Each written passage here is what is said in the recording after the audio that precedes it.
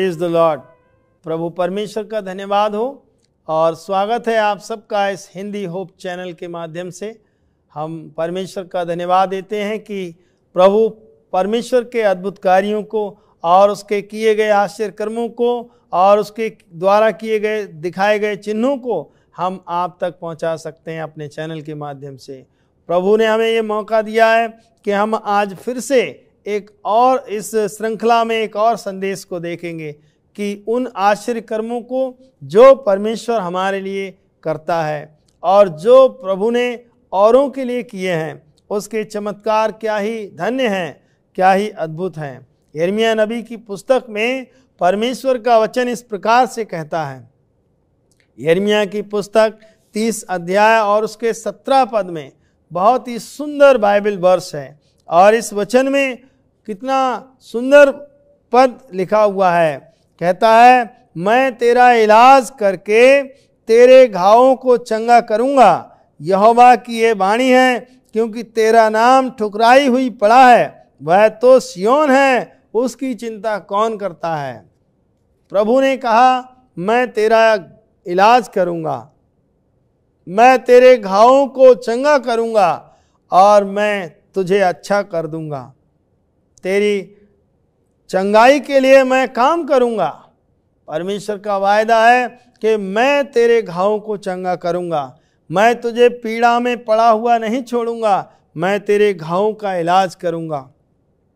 सियोन है वो, और सियोन की चिंता कौन करता है? सियोन की चिंता यहोवा परमेश्वर करता है। हमारा परमेश्वर हमारी सहायता करता है।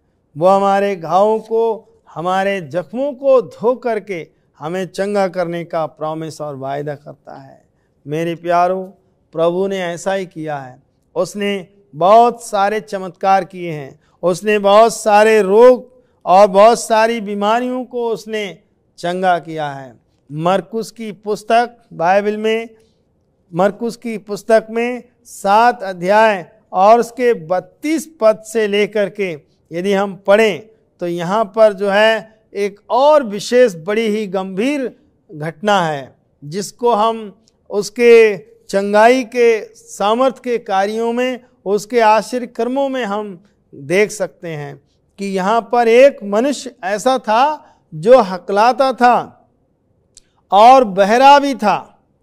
ये बहरा भी था और हकला भी था और वो सूर और सैदा के देशों में वहीं रहता था। एक दिन प्रभु यीशु मसीह दिका पुलिस से होता हुआ गलील की झील पर जा रहा था।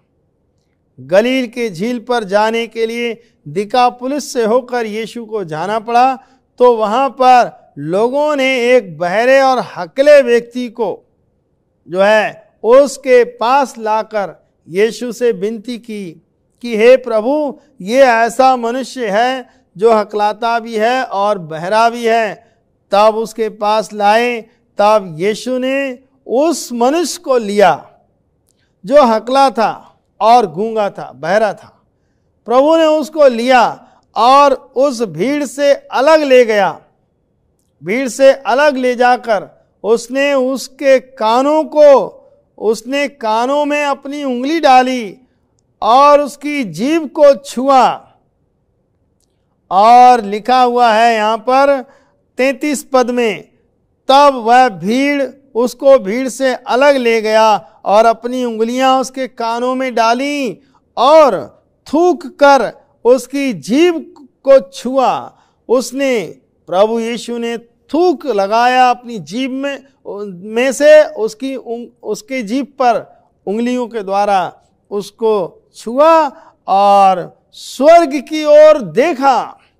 प्रभु यीशु इस बहरे और गूँगे, इस हकले और गूँगे व्यक्ति को देखकर बहुत ही दुखी हुआ।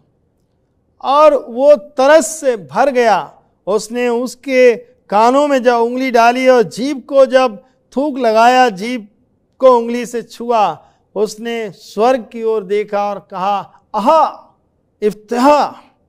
प्रभु ने वहाँ पर एक शब्द बोला था, इफ्तहा। अर्थात इसका अर्थ होता है, खुल जा।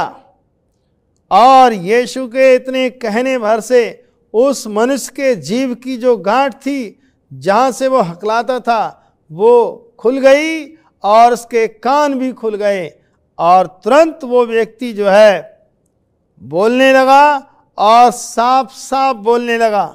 यहाँ पर लिखा है, चौंतीस पद में और स्वर्ग की ओर देखकर आह भरी और उससे कहा इफ्ताह खुल जा। उसके कान खुल गए और उसकी जीव की गांठ भी खुल गई और वो साफ़ साफ़ बोलने लगा और उसने उन्हें चिताया कि ये बात किसी से ना कहना।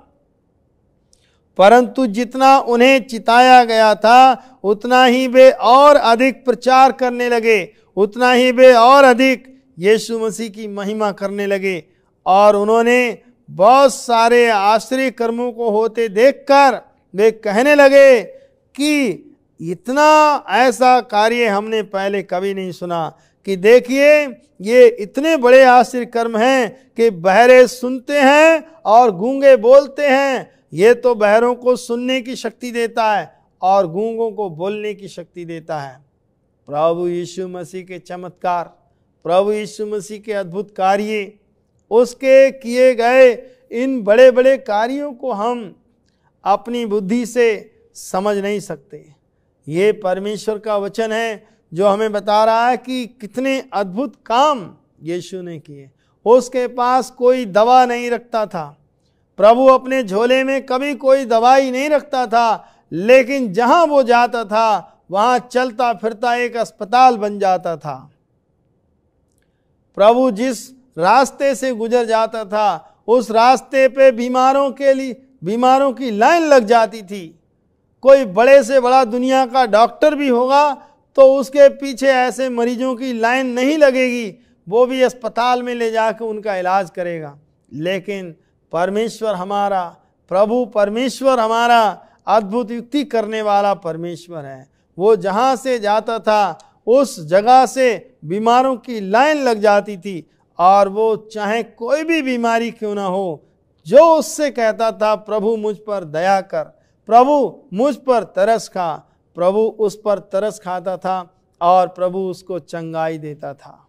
मेरे प्यारो, यीशु मसीह आज और कल और युगानुग एक सा है, वो कभी ना बदलने वाला परमेश्वर है। प्रभु ने कहा, तुम जो कुछ भी पिता परमेश्वर से मेरे नाम से मांगोगे, पिता तुम्हें देगा। ऐसा कोई वायदा नहीं है उसका जो कि झूठा हो, उसके वायदे सच्चे हैं, उसके ऊपर विश्वास करना चाहिए। वचन कहता है, सैंतीस पद में वे बहुत ही आश्चर्य में होकर कहने लगे कि उसने जो कुछ किया है, वो अच्छा किया है। वो बहरों को सुनने की और गूंगों को बोलने की शक्ति देता है। प्रभु यीशु गूंगों को बोलने की शक्ति देता है और परमेश्वर सब कुछ काम कर सकता है। क्या हम जानते हैं कि यीशु मसीह इस दुनिया में वो काम खुद भी करके गए हैं? जिन्हें हम दूसरों को बताते हैं तो दूसरे कहते हैं, ये आश्चर्य की बात है। प्रभु ने एक और बड़ा आश्चर्य कर्म किया। यदि हम मत्ती चौदह अध्याय में पढ़ते हैं, उसके पंद्रह पद से तो एक बहुत बड़ा, एक और आश्चर्य कर्म हम यहाँ देखते हैं। चौदह अध्याय के बत्तीस पंद्रह से इक्कीस पद तक। मत्ती चौदह का पंद्रह से इक्कीस। जब साँझ हुई तो उसके चेलों ने उसके पास आकर कहा, ये सुनसान जगह है और देर हो रही है और लोगों को विदा किया जाए कि वे बस्तियों में जाकर अपने लिए भोजन मोल लें। पर यीशु ने उनसे कहा, उनका जाना आवश्यक नहीं है, तुम ही इन्हें खाने को दो। उन्होंने उससे कहा, हे प्रभु, हमारे यहाँ पाँच रोटी और दो मछलियों को छोड़कर और कुछ नहीं है। तब उसने उनसे कहा, उनको यहाँ मेरे पास लाओ।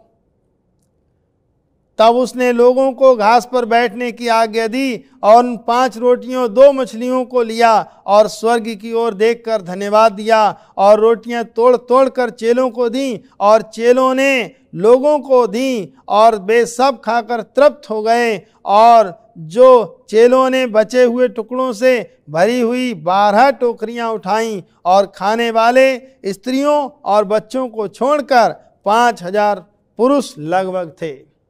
प्रियो, हमारा परमेश्वर अद्भुत काम करने वाला परमेश्वर है। यीशु मसीह ने जब लोग उनके पीछे तीन दिन, तीन रात से सुषमाचार को सुन रहे थे और उनके पीछे बैठे हुए थे, उनके साथ थे, उनके मध्य में थे और वे भूखे प्यासे थे। प्रभु ने वहाँ पर चेलों से कहा, इन्हें खाने को दो। पर चेलों ने कहा, इतने लोगों के लिए हम खाना कहाँ से मोल लाएँगे? प्रभु, आप इन्हें घर भेज दीजिए, रोटी खा के आ जाएँगे। प्रभु ने कहा, नहीं, रोटी तुम ही उन्हें खिलाओ। तब आप जानते हैं कि प्रभु यीशु के पास रोटी नहीं थी। रोटी तो उनमें से किसी चेले के पास, किसी बच्चे के पास थी, और वो भी पाँच रोटी थी और दो मछली थी। प्रभु ने कहा, उनको मेरे पास लाओ। और जब उन रोटियों को प्रभु के पास लाया गया तो उन्हीं रोटियों में प्रभु की इतनी आशीष हुई प्रभु ने स्वर्ग की ओर देखा और उन रोटियों पर धन्यवाद करके, प्रार्थना करके आशीष मांगी और परमेश्वर ने उन रोटियों में इतनी बरकत और इतनी आशीष दी कि वो रोटी इतनी हो गई और इतनी खाने के लिए पर्याप्त हो गई कि पुरुषों ने, पाँच हज़ार पुरुषों ने खाया और स्त्रियों को और बच्चों को तो गिनती में ही उनको लाया नहीं गया है। उनकी गिनती नहीं करी गई है और हम जानते हैं हर एक आराधना सभा में पुरुष कम होंगे, लेकिन महिलाएँ ज़्यादा होंगी। और अब आप सोच सकते हैं, जहाँ पाँच हज़ार पुरुष थे तो महिलाएँ कितनी होंगी? कम से कम पाँच हज़ार पुरुष थे तो कम से कम दस हज़ार महिलाएँ होंगी। और अगर दस हज़ार महिलाएँ होंगी तो हर महिला के साथ अगर एक बच्चा भी रख लिया जाए तो दस हज़ार बच्चे भी हो जाएँगे। वैसे हो सकता है कि इससे भी ज़्यादा हों। परंतु हम देखते हैं कि पुरुषों की संख्या पाँच हज़ार थी। एक इतनी बड़ी भीड़ को प्रभु यीशु ने कुछ ही समय के अंदर पर्याप्त भोजन करवा दिया और खाने के बाद उन रोटियों के टुकड़े बटोरे गए तो बारह टोकरी भोजन बच गया। प्रभु के लिए कोई भी काम असंभव नहीं है, कोई भी काम कठिन नहीं है। उसके चमत्कार बड़े ही अद्भुत हैं। वो जब उन रोटियों को लेकर जब बारह टोकरी कोई, हर कोई अपने अपने घर ले गए होंगे, शायद वो लड़का भी अपनी, अपने घर एक टोकरी ले गया होगा। और उसने कहा होगा, मम्मी से कि आज तो प्रभु ने कमाल कर दिया, जो खाना मम्मी आपने मेरे लिए दिया था, वो आज हमारे पूरे पाँच हज़ार पुरुषों ने खाया और स्त्रियों और बच्चों की संख्या गिनी नहीं गई। कितना अद्भुत काम उसके घर में हुई होगी। कि आज हमारे परमेश्वर ने ऐसा अद्भुत कार्य किया। उस लड़के ने कहा होगा, मम्मी, ये एक टोकरी मैं भी लेकर के आया हूँ। बारह टोकरी खाना बच गया था। उसके लिए कोई काम कठिन नहीं है।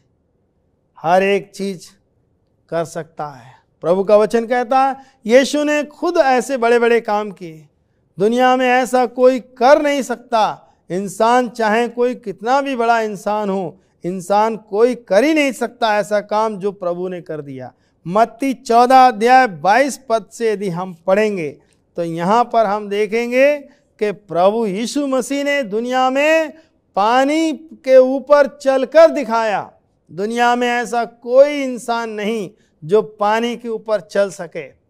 यीशु मसीह एक दिन अपने चेलों को आगे भेज दिया और स्वयं पहाड़ पर चले गए प्रार्थना करने के लिए। और चेले नाव से आगे चले गए।